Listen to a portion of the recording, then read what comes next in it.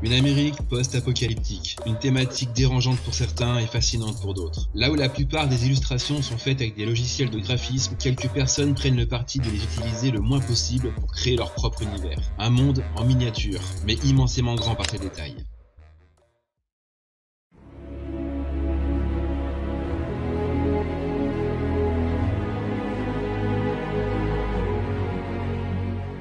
Bonjour à tous et bienvenue dans Chronique Post-Apocalyptique. Le thème d'aujourd'hui va porter sur deux artistes américaines au style assez particulier. Photographe de métier pour la première et artiste sculptrice pour la seconde, les deux femmes présentées ici travaillent uniquement dans leur atelier. Laurie avec sa partenaire Kathleen Gerber, crée depuis maintenant plus de 10 ans des dioramas ultra détaillés représentant les intérieurs de bâtiments abandonnés dans une ville post-apocalyptique vidée de ses habitants. Générique.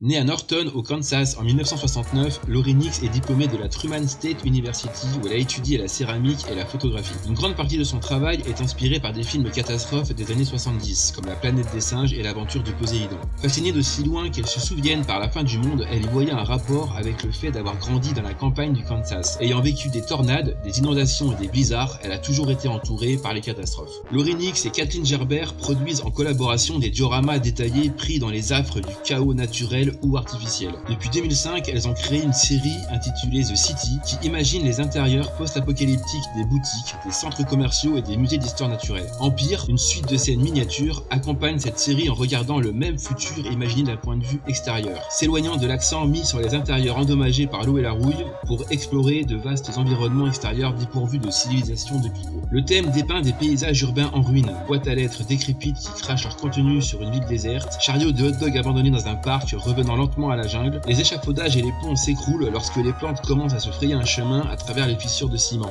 des indices subtils que la nature a commencé à réclamer sa terre. Alors que leur paysage urbain et leur intérieur semblent si réalistes et si improbables, ils sont le résultat d'une minutieuse maquette, d'une mise en scène élaborée et d'une photographie méticuleuse. Des techniques que les deux partenaires ont perfectionnées au cours des 16 dernières années. Fait particulier, toutes les photos sont des reconstitutions de scènes en miniature, très détaillées et bluffant de réalisme. Chaque modèle exige de nombreuses heures de main et peut prendre jusqu'à 7 mois pour la production, ce qui signifie souvent que leur projet avance à raison de moins de 2 photos par an. Chaque prise de vue peut prendre de 2 à 3 semaines pour un rendu parfait. Après la prise de la photo finale, les dioramas fabriqués à la main, qui sont composés de carton, de mousse et de colle, sont détruits et recyclés après chaque séance photo. Une manière pour elle de clore un chapitre et de débuter sur de nouvelles bases scènes. Si elle est aussi modéliste, elle se considère avant tout comme photographe, bien qu'elle passe davantage de temps à réaliser ses maquettes qu'à les prendre en photo. Laurie Nix et Kathleen Gerber bousculent les traditions de la photographie de paysage afin de créer leur propre monde humoristiquement sombre, examinant les sentiments d'isolement et de solitude. C'est habituellement Laurie Nix qui construit et peint les dioramas, pendant que Kathleen Gerber leur ajoute des saletés et de la détresse pour qu'ils semblent vieux et décrépits. L'artiste déclarait « J'ai peur de ce que l'avenir nous réserve si nous ne changeons pas notre façon de faire face au climat. Mais je suis aussi fasciné par ce qu'un monde en évolution peut apporter. Je pense que cela fait partie de la raison pour laquelle nous faisons le travail que nous faisons, pour essayer de concilier ces différentes attitudes. Le couple admet volontiers que si cela pouvait prendre une année pour photographier deux scènes, rien n'était parfait, travaillant en symbiose jusqu'à ce qu'elles soient d'accord sur ce qu'elles aiment. Cette incertitude s'étendant aux détails des constructions. Les deux artistes déclaraient vraiment aimer travailler avec leurs mains, ce qui explique selon elles leur lenteur à adopter le numérique et Photoshop. Taper sur un clavier n'étant pas aussi amusant que de s'asseoir à une table avec un couteau, une règle et des matériaux. Laurie Nix ne veut rien retoucher dans Photoshop, malgré son passage à la photo numérique, visant, selon ses propres dires, d'emblée la perfection. Pour The Living Room, la dernière pièce de la série, Laurie Nix et sa partenaire Kathleen Gerber ont osé l'introspection en choisissant de répliquer leur propre studio, qui, s'en amusait-elle, avait déjà des allures de fin du monde.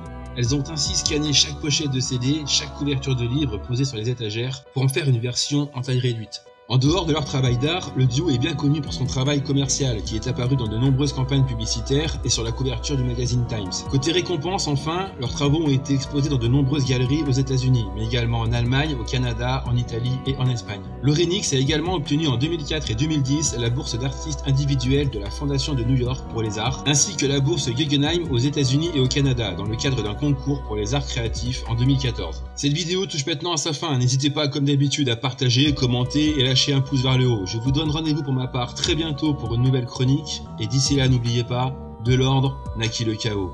Du chaos jaillit la renaissance. Même en miniature. Ciao